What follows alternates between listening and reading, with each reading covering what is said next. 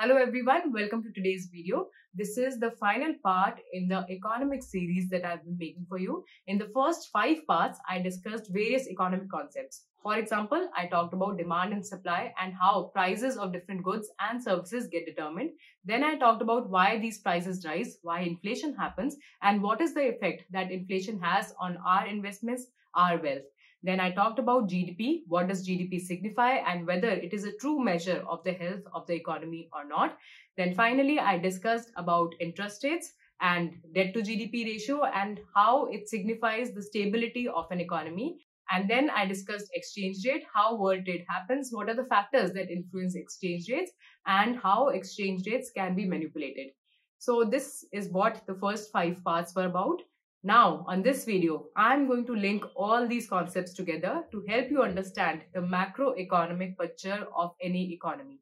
I'm going to give you a very, very neat story so that you can understand how economic cycles function, how GDP increases, decreases, and then increases. This will give you a deeper appreciation of how different economies go through bad phases and good phases. I will also talk about why stock markets do not always go in parallel to the economic cycles. This is what the agenda for today is. So let's start the video. Before that, a quick introduction about myself. I'm Ayushi. I'm an Indian Economic Service Officer currently working with the Government of India. I have over seven years of experience working at the intersection of finance, economics, and public policy. I'm here to simplify complex economics financial terms for you so that you can understand how economies function, how different factors affect your daily life. This is what my agenda is. So, without further delay, let's start the video. At the very start, I would like to say that if you haven't watched the first five parts of the video, then do watch it because it will give you a deeper understanding about different concepts that I'm going to talk about in this video. It will not take you a lot of time. One and a half hours, you can complete the entire five parts and this will help you understand today's video at a much deeper level. So if you're already aware of those terms, no problem at all. Let's continue with this video. So let's start the story. In this story, we call the country, let's say country perfecto. Now, country perfecto is growing. It is showing some GDP growth rate. So there is some GDP growth rate happening. People are employed. Employment is there. Goods and services are being produced, and to produce those goods and services, people need to be employed. So people are employed. GDP growth rate is happening, and if people are employed, that means they're also getting income in their wallets. This means the income is rising and when they get income in their wallet they have some money in their hands at their disposal to spend on goods and services they start demanding goods.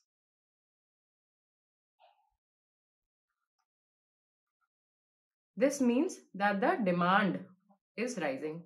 Now let's say that the demand is rising rapidly but the supply is not being able to match by it so the demand rises but the supply is not getting matched so the demand is much more than the supply.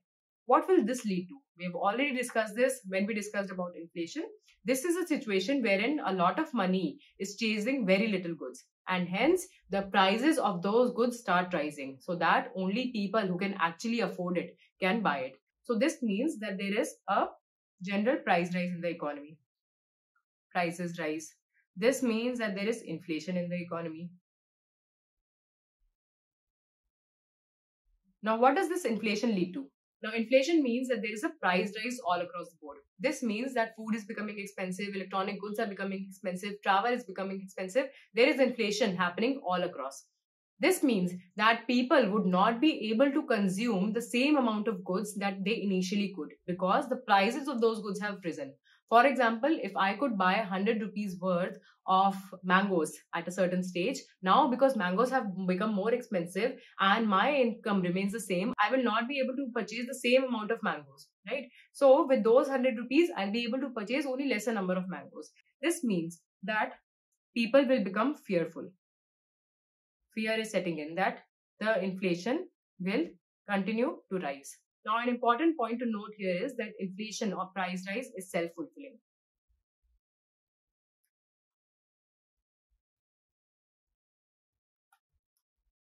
This means that inflation leads to more inflationary expectations. For example, let us assume that presently the prices of four apples is 100 rupees. Now inflation has set in. We already know that numbers are being reflected on news channels. Government is saying that that there is inflation.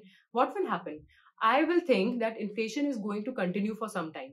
And this may lead to a situation where the prices of those apples increases even further. So what am I going to do? I'm going to say that, you know, I'll buy more apples today only so that I have to pay lesser amount than tomorrow when the prices are going to rise further.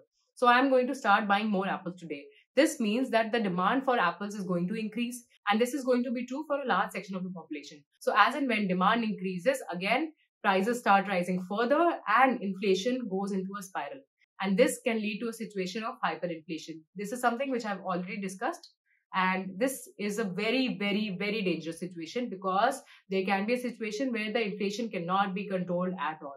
And hence, the economy's currency completely devalues, it becomes nothing, there is no value, and then economic collapse of the country can also happen, which has happened in certain economies. We have already seen that. So, this is a very dangerous situation.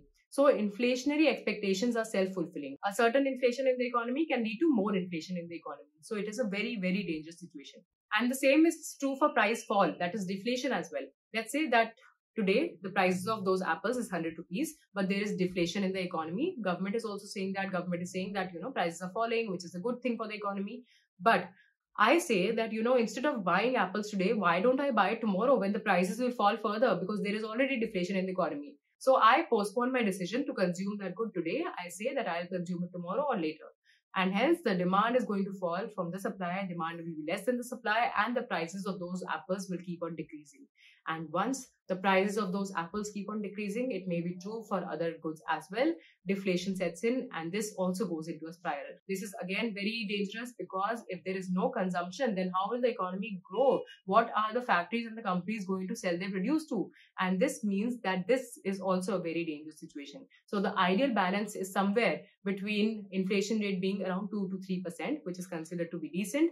India targets inflation rate at 4% However, anything beyond that can lead to a serious situation of hyperinflation. Anything below that means that there is deflationary tendencies and again, it needs some intervention by the government. So let's come back to the story. Now, inflationary expectations have set in. People have become fearful. They assume that inflation is going to be higher tomorrow and hence they start consuming more and more today. This means that the demand is going to rise. But once they see that inflation is here to stay, they start consuming only essential goods and they stop consumption of all other goods that they can avoid today. And this means that the aggregate demand in the economy would now start falling. So people spend only on essential goods.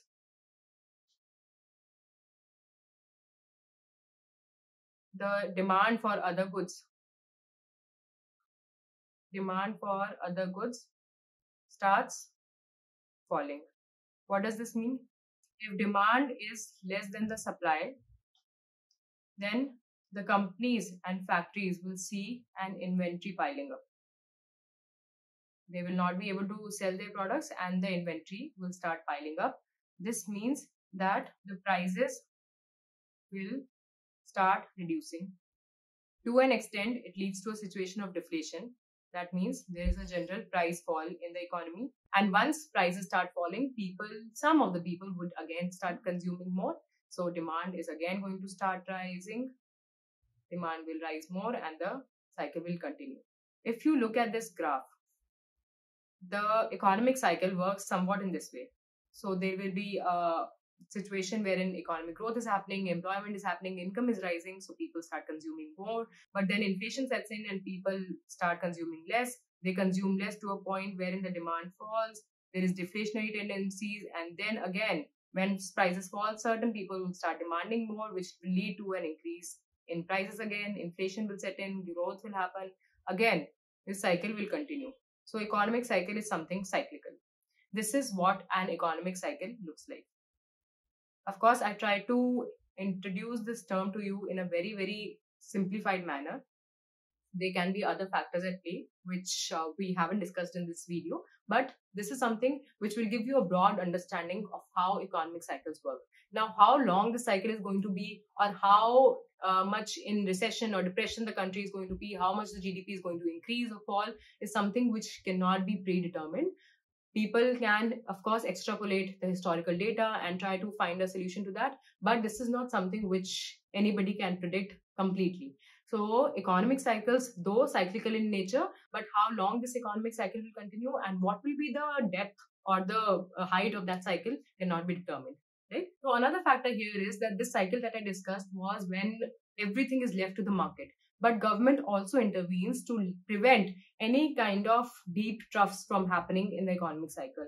So deep troughs are basically these periods of downfall or recession. So this is called as the crest when the gdp is booming and this is called as the trough when gdp is falling. So this will be a situation of uh, recession and depression and this will be a situation of recovery and boom so this is basically in to prevent this kind of or this kind of situation from happening, governments intervene. So how do they intervene? When prices are rising, they increase the interest rate. When they increase the interest rate, the money supply in the economy falls. Watch the video on um, interest rates and I have discussed this thing in detail there. So money supply falls, there is less cash in the hands of the people, and again, people start consuming less, prices fall, and again, the prices are stabilized. This is how governments intervene in order to prevent any kind of uh, inflation or in any kind of deflation from happening in the economy. With me so far? But when interest rates rise, another thing happens. They start saving their money. They start investing in bonds because they are able to get a higher return there. They also start saving their money in savings account. And hence, money flows into bonds and savings. Similarly, if the interest rate falls, then a lot of money is poured out from the bonds into the stock market because stock markets and now cryptos also they are acting as good alternatives to invest money outside bonds and the savings accounts. So this is what is happening in the current situation. Stock markets do not necessarily move in tandem with the economic cycle because they are guided by a number of factors. So let us look at those factors quickly.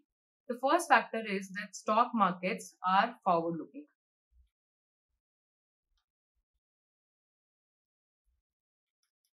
That is, when you're buying stocks, what does it mean? It means that you're buying into a company and you expect that company to perform good in the near future or in the uh, long term horizon. This means that these are forward looking. You expect that company to perform good and fetch you higher profits in the long term. So this is forward looking. However, economy or GDP, if you look at GDP, it gives you a real picture of what has happened in the past.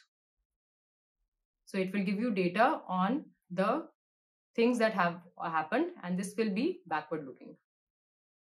So there is one difference here.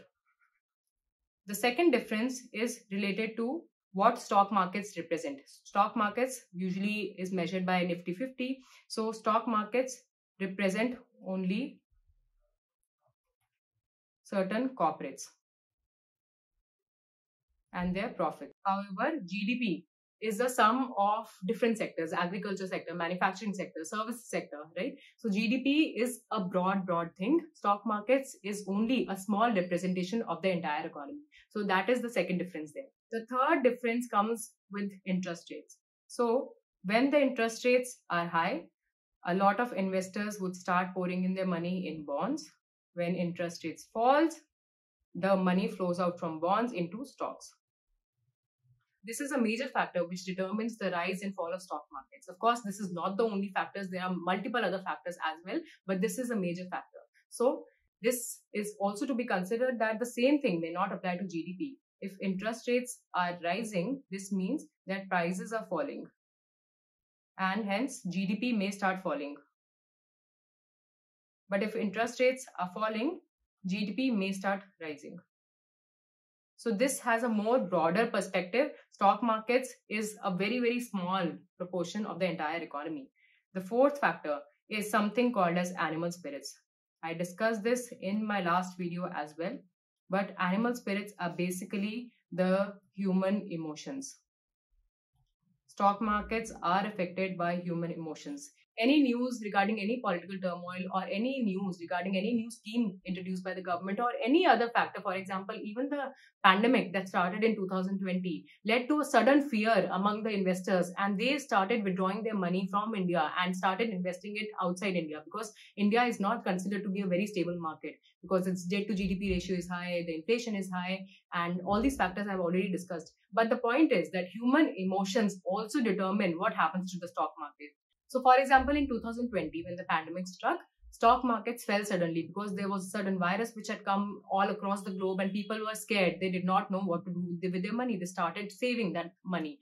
They did not want to invest it anywhere. But when they saw that the situation started improving, when the interest rates were decreased by several governments across the global economy to incentivize people to spend more because demand had fallen, people started investing that money, the extra money they had into stock markets. Interest rates had fallen, the bonds were no longer attractive, and they started pouring that money into stock markets. So human emotions actually guide stock markets to a very, very large extent.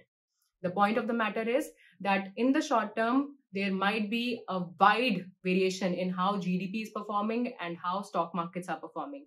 However, in the long term, both of them converge towards the same direction. So if I have to put it in the form of a drawing, if the economic cycle looks something like this, then the stock market cycle would look something like this.